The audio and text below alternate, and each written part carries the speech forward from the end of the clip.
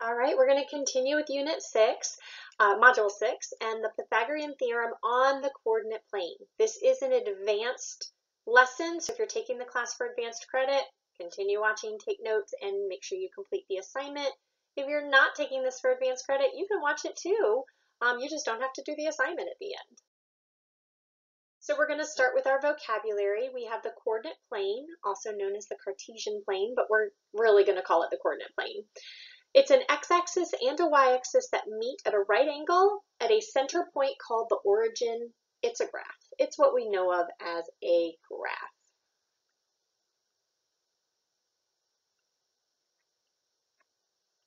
Then we have ordered pairs, a coordinate or point written in the form x comma y. Then we have the origin, which is the center of the coordinate plane.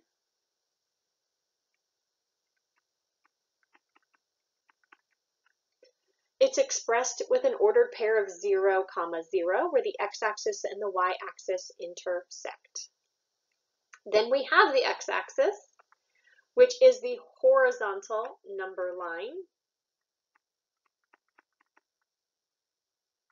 And then we have the y-axis,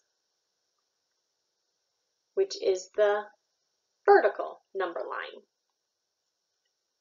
Okay, so make sure you pause, add these to your notes, and when you're done, click continue. So let's practice finding the distance between two points. What is the distance from 2, 4 to 2, 3? So let's go ahead and mark it. 2, 4, and 2, negative 3. So really we just have a vertical line here. If it is a vertical or horizontal line, it's going to be really easy to find the distance. We really just have to take um, the line and count. One, two, three, four, five, six, seven. So the distance is seven units. But there is a rule that we can follow. I'm going to go ahead and write it down here.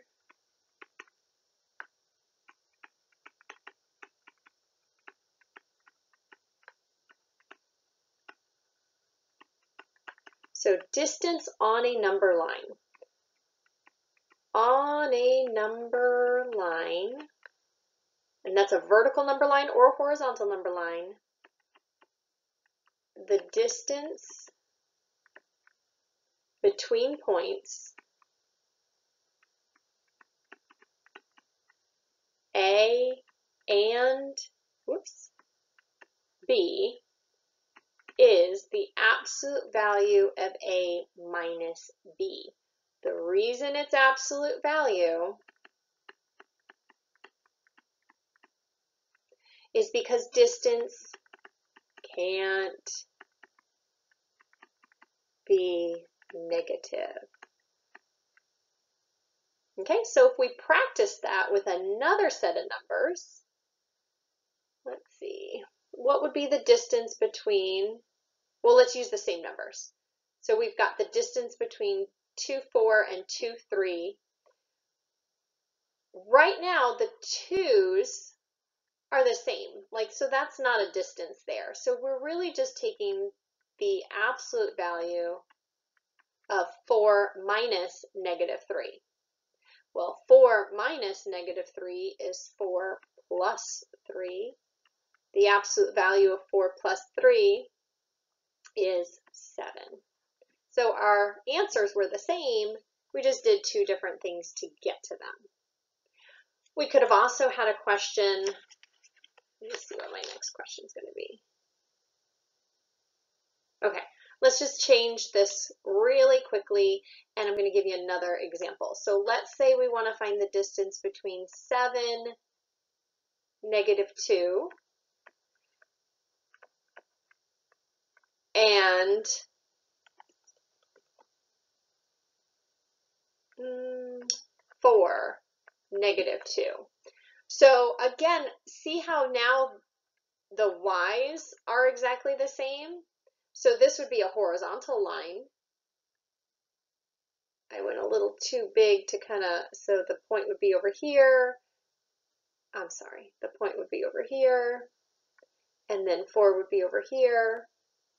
So now it's a horizontal line because the y's are exactly the same, so there's no vertical distance there. So all we have to do is 7 minus 4, the absolute, absolute value of 7 minus 4, and the distance would be 3 on this separate example.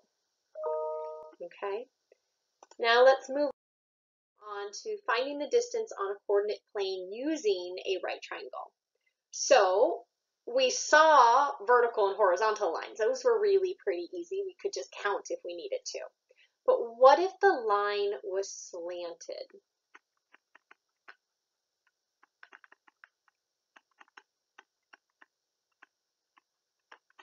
So let's find the answer to the distance between 3, 5 to 6, 1. So we've got 3, 5, and we've got 6, 1. We need to find this distance. Okay, so in order to do that, we need to make a triangle, and a right triangle, really, specifically a right triangle. So I can create a vertical line here and a horizontal line here, and this is a right angle. I could, I don't want to confuse you, but I could also create a right triangle this way. And I used yellow because I don't really want it to jump out. But um, either way, it's not going to change the distances or anything. So just know that there's there's two triangles that you could make. And um, there isn't a wrong one. So let's go ahead and mm, find all our little ordered pairs. So we've got 3, 1. We've got 3, 5. Whoops. And then we've got 6, 1. Okay, so we really just added one new point. And let's find the side lengths. Okay, so the first step we needed to find the vertical and horizontal lines. The next thing is we're going to find the side lengths. And this could be easily done counting one, two, three, four. Or we could do 3, 1 minus 3, 5, which is, I always like to subtract the bigger number first. 5 minus 1, which is 4. So we did it two different ways. We got the same answer. Now, Let's find the distance here. One, two, three. So the distance on the shorter leg is three. We could also find that by doing three, one, and six, one. Remember the ones are exactly the same, so we're just doing six minus three, which is three. So again, two different ways, same answer. So now we have two legs of a right triangle and we have four, we have three, and we need to find this one over here. Remember the Pythagorean theorem?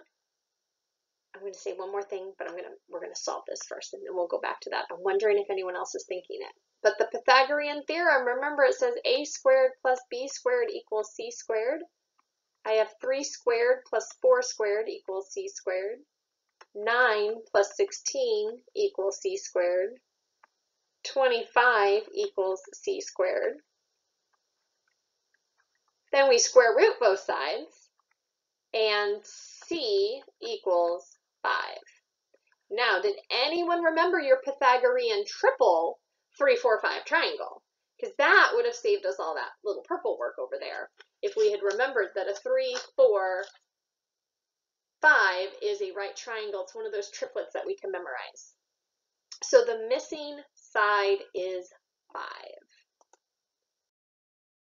All right, let's go ahead and do another one. Um, let's do negative 8, 4, and negative 8, 12. I'm going to count by twos here. So this is going to be negative 2, negative 4, negative 6, negative, well, that didn't quite work. 1, 2, 3, 4, 5, 6, 7. Okay, I don't have to count by twos. So we've got one, two, three, four, five, six, seven, eight. One, two, three, four. Whew. Okay, and then still negative 8, but this time it's going up to 12, which is going to be like up here. Okay, so again, it's just a vertical line. We could count, but we could also take the 4 and the 12 and just do 12 minus 4 and get 8. Now, if you didn't subtract it that way, you could do 4 minus 12. You would get the absolute value of negative 8, which is still 8. The answer is still 8. It doesn't really matter which order you subtract it in. When you're taking the absolute value, it's always the distance from 0, and that distance is always a positive number. I can't say always positive a number because 0 can be an answer and 0 is not positive or negative. So just kind of throwing that out there. Um, let me check really quickly. Yes, this is our next problem. Okay, so we have negative 1, 0, and we have 3, 4. 3, 1, 2, 3, 4, 4. Okay, so we want to find that missing side. So remember, we're going to make our legs. And it's pretty easy to count those legs. One, two, three, four. One, two, three, four. So unfortunately, this one is not a Pythagorean triplet.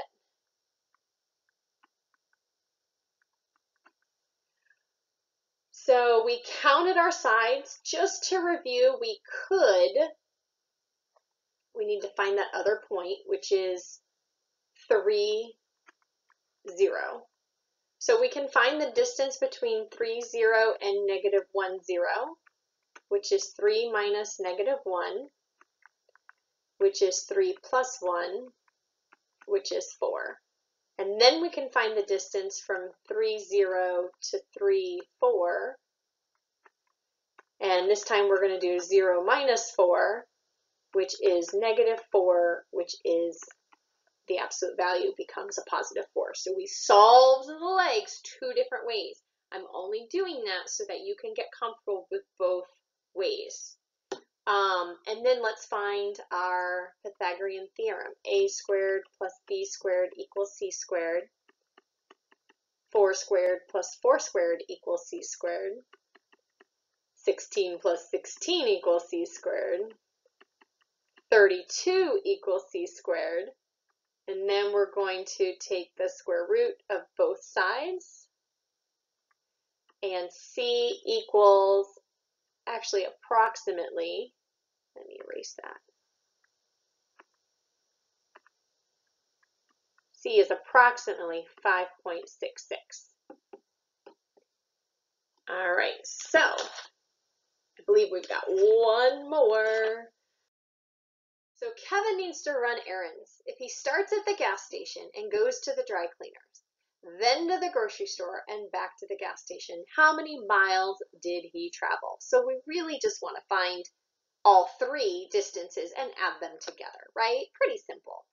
So we can start by adding one, two, three, four. We've got four on the one side, one, two, three, four, five, six, seven, eight on the other side.